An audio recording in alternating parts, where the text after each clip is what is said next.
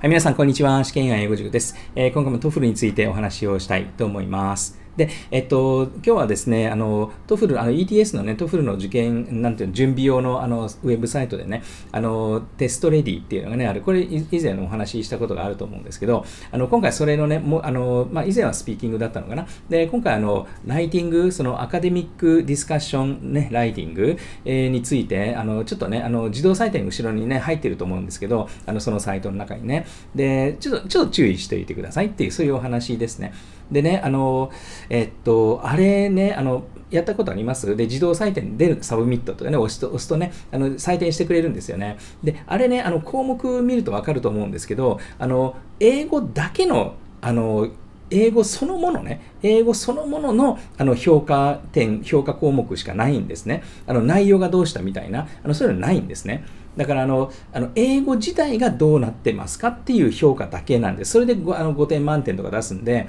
あのちょっとこう、なんて言うんだろうな、ミスリーディングな感じしますよね。あの、あ、自分5点取れたとか言っても、それ英語が、あの、のエラーがなかったみたいな、そんなレベルなんですね。だから、あの、内容的に完全なるオフトピックとか、あの、なっても内容は、あの、自動採点誰も見てない。あの、誰も見てない。あの自動採点全然、内容はあの自動採点ではわからない。いいことになっているので、ちょっと注意した方がいいかなと思いますね。ちなみに、えっと、あの、先生の質問あるじゃないですか。ね、先生の質問があって、この質問の部分ね、えっと、これどっちが大事なんでしょうみたいな。で、そこからね、えっと、あの、もし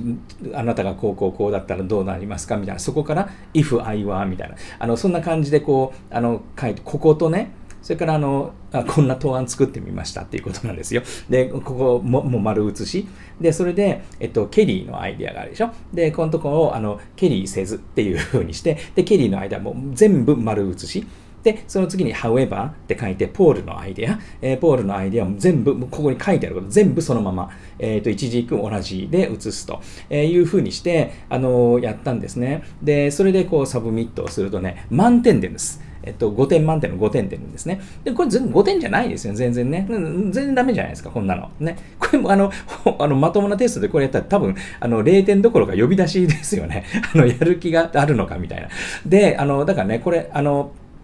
これ本番でこれ、本番っていうか、これまともなテストでこれやると、あの、0点がつくどころか、ちょっと呼び出しですよね。真面目にやれみたいなね、感じでね。だから、あの、ただね、ここからわかるのは何かっていうと、ちょうどね、それ作ったらね、あの、やっぱ139ワードぐらいだったかな。で、139ワードぐらいで、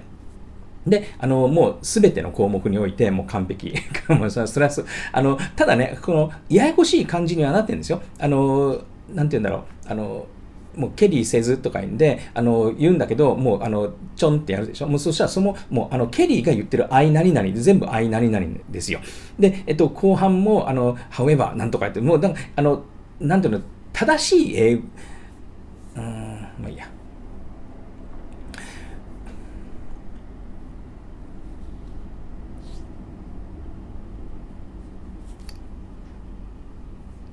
だこれあの、だこれまともなテストでこれやると、まあね、0点になるどころか、まあ、呼び出し ですよね。あの、真面目にやれみたいな、あの、感じになると思うんで、あの、ただまあ、あの、言語的なね、観点からすると、あの、これでいいと。で、あの、これまとめるとですね、この答案自体がね、あの、長さがそのように作った答案がね、139ワードあったんですね。で、もう満点、すべての項目において満点ということで、これ必ずしもね、すべ、すごいわけじゃなくって、その、あの、ケリーせずって書いてるけど、ケリーの言葉全部丸写しなんでね、愛何々とかね、いう感じで全部丸、で、あの、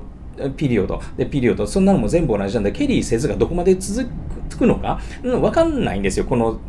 書き方だとね。でもそれでもやっぱ満点ではあるんで、あの、まあ、これぐらいでも全部いいだろうという感じなんですね。で、皆さんがね、あの、これここから学ぶことというのは、あの、やっぱりね、あと、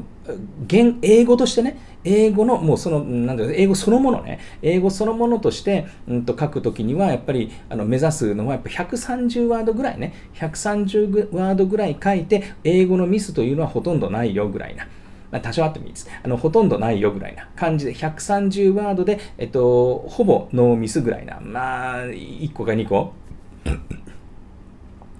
えっと、130ワード以上ぐらい書いて、まあ、エラーはほとんどないよぐらいな。これぐらいのクオリティですね。これぐらいのクオリティを書けばいいかなと思います。で、あの、英語のこのコンプレクシティとかね、難しさ、複雑さに関しては、あの、あそこに出てるようなね、あの、あれあんま難しい英語じゃないですよね。あれね。あの、書き言葉風でもないしね。まあ、こうね、あの、なんて言うんだろう。えっと、メッセージボードというかね、に売ってる的な感じですよね。だから、あの程度のクオリティでいいんですね。あの程度のクオリティで、うんと、しっかり英語として書けるというのを、あの、目指す。そしたら、あの、英語自体に関しては、あの、問題ないという感じにはなると思うんですね。それぐらいを目安にしてやってみてください。ね、ただ、本番は、本番は、あれですよ、内容をちゃんと書かないと、それはもうダメなんで、ね、あの、内容をしっかり、あの、変なことばっかり書いて、話題が逸れているとかね、あの、そういうことがあったら、まあ、よくないですよね。あの、っていうことですね。で、実際じゃあ本番で、あの、さっきみたいな、えっと、丸写し答案作ったらどうなるんだっていうのは、もう、あの、受験料がもったいなさすぎてやる気がしないので、あの、これはもう、どなたかにお任せ、お任せっていうか、もう暇で暇でしょうがない人がやっていただければいいんですけど、あの、それやる価値がほとんどないですよね。あの、まあまあ、そんな感じでね、その、えっと、その言語自体ね、がちゃんと書けてるかどうかというのが一つと。で、それからもう一つは、このね、本番では、えっと、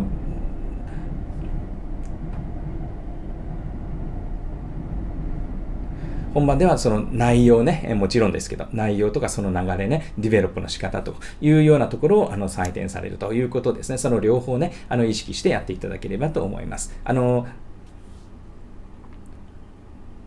あのウェブ、あのウェブ、あのウェブサイトではね、あの英語そのものだけが採点されるので、逆にね、ちゃんと自分であのしっかりあの打って、自分の意見としてね、あの打って、それを submit すると、自分のその英語の自体の、えっと、自動採点はされると。っていう感じです。それでも、それだったらもう Grammarly とかチャット GPT でも同じことができるんでね、あの、まあいいかとは思うんですけど、まあだからあんまりあのね、自動採点そこまで気にする必要はないという感じですね。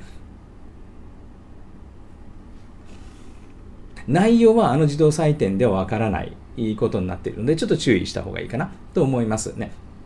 ちなみに、えっと、あの、先生の質問あるじゃないですか。ね、先生の質問があって、この質問の部分ね、えっと、これどっちが大事なんでしょうみたいな。で、そこからね、えっと、あの、もし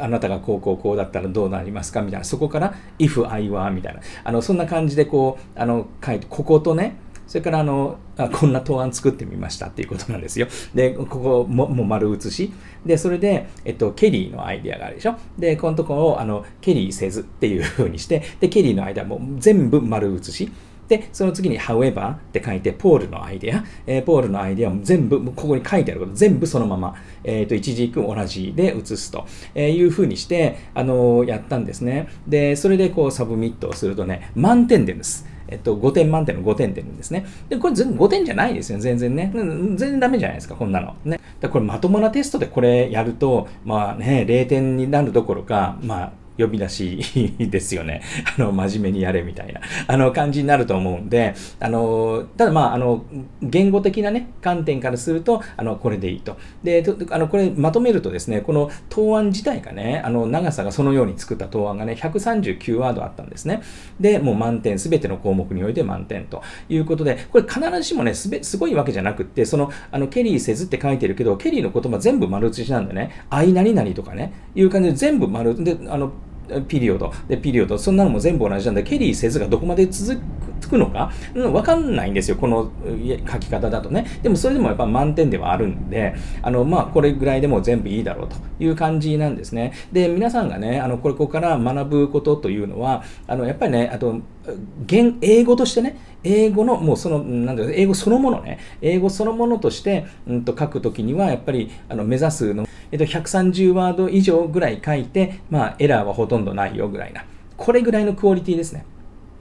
これぐらいのクオリティを書けばいいかなと思います。で、あの、英語のこのコンプレクシティとかね、難しさ、複雑さに関しては、あの、あそこに出てるようなね、あの、あれあんま難しい英語じゃないですよね、あれね。あの、書き言葉風でもないしね、まあ、こうね、あの、なんて言うんだろう、えっと、メッセージボードというかね、に売ってる的な感じですよね。だから、あの程度のクオリティでいいんですね。あの程度のクオリティで、うんと、しっかり英語として書けるというのを、あの、目指す。そしたら、あの、英語自体に関しては、あの、問題ないという感じにはなると思うんですね。それぐらいを目安にしてえやってみてください。ね、ただ、本番は、本番は、あれですよ、内容をちゃんと書かないと、それはもうダメなんで、ね、あの、内容をしっかり、あの、変なことばっかり書いて、話題がそれているとかね、あの、そういうことがあったら、まあ、よくないですよね。あの、っていうことですね。で、実際じゃあ本番で、あの、さっきみたいな、えっと、丸写し答案作ったらどうなるんだっていうのは、もう、あの、受験料がもったいなさすぎてやる気がしないので、